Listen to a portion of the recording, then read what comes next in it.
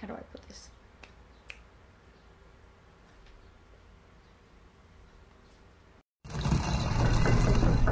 G'day folks, my name's Dael Kingsmill. I'm putting up a real a real quick D&D video today because uh, I had some technology problems, not entirely resolved yet, uh, that meant that I kind of missed a week of videos and I just uploaded the storytelling video, the fairy tale, uh, but I thought I'd get get a quick little sort of half video in here as well to make up for the gap. This concept isn't an extravagant one by any means. Uh, it just it's something that I started thinking about when um, uh, someone on Twitter started asking about a player who wanted to be a knight.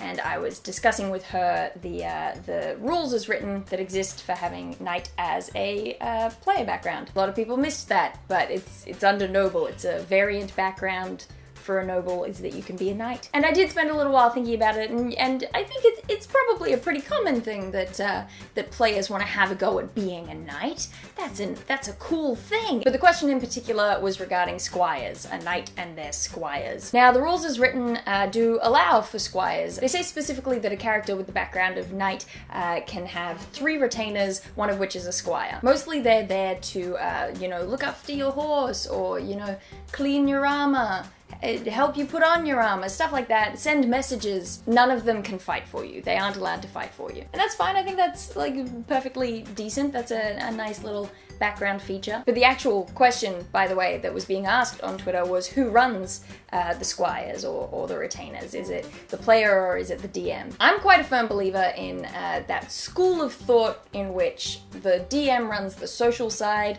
of an NPC that's attached to a character in that way. So a retainer or even an animal companion. You run all the social stuff for the player, whereas the player runs them tactically, and in combat they get to just say the person does this. That's how I personally like to, to run that. So then the more I thought about it, the trickier the rules as written become because then you have uh, three whole characters that you as a DM are having to run the whole time that they're with the party socially, but they can't fight, so the player doesn't get the, the fun of running them tactically. So it's a lot of work for you and a lot of underwhelming for the player. So of course I dabbled with it and came up with my own idea because that's what I do. I wound up with a with a very simple uh, little system here. First things first, you don't get three retainers, one of which is a squire, you just get one squire. And that squire is allowed to fight with you. But you gotta be careful about it because if you're not, they're gonna get smushed.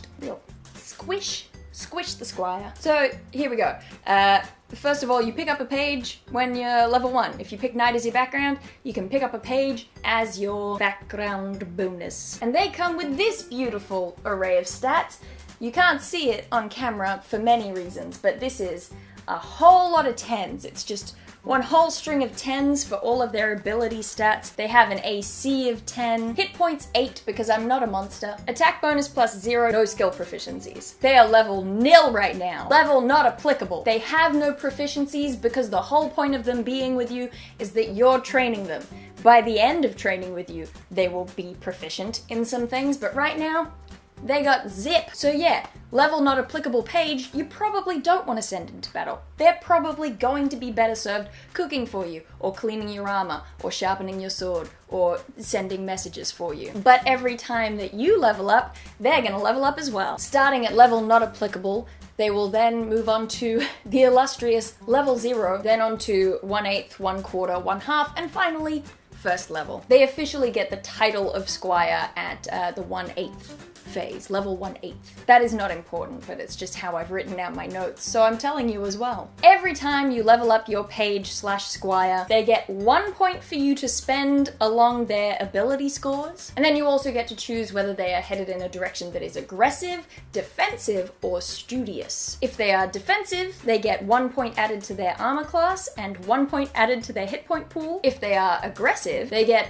one point added to their attack bonus. Keep in mind at this point that they don't get proficiency bonuses. So don't go freaking out thinking that giving a plus one to their attack bonus is going to be the equivalent of like a magic sword. And finally, if they are studious for that level, then uh, you get to pick a skill in which they are proficient, at which point they get to add your proficiency bonus to those skill checks. So maybe you think, I want my squire to be more stealthy because he keeps tripping over. I say to that, Teach your squire to sneak. On paper, without thinking about it too hard, some of the numbers that you're coming up with as maximum totals might seem very alarming, but be cool because at most, the character's going to be getting a plus six to their attack or whatever. And that is at the expense of, you know, they're gonna be likely to die because they still have an armor class of 10 and 8 hit points. So someone could max them out and say this is the only thing they're good at, um, but it, I wouldn't recommend it.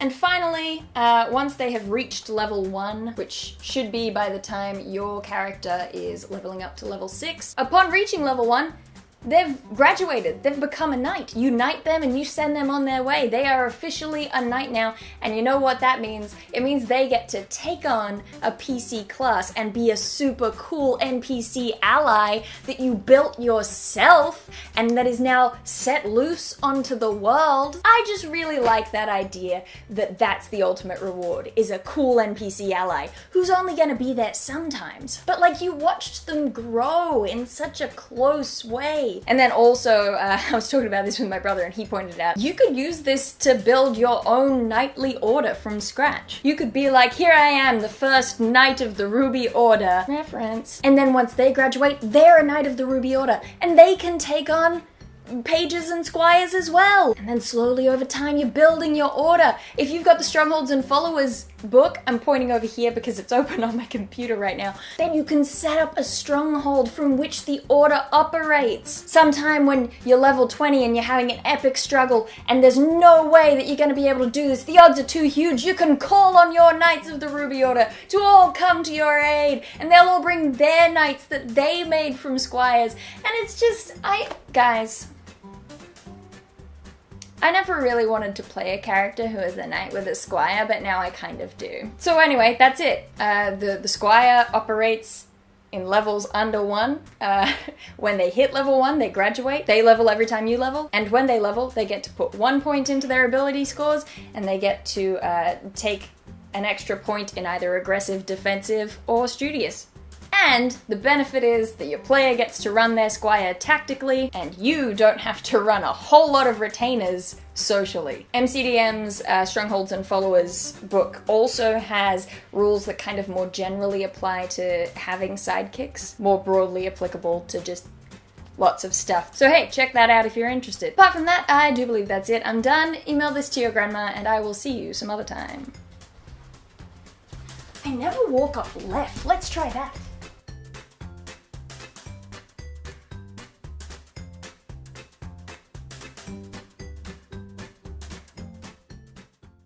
Was the other thing I was gonna say? I don't know. I should. It's my head. But I don't. I don't.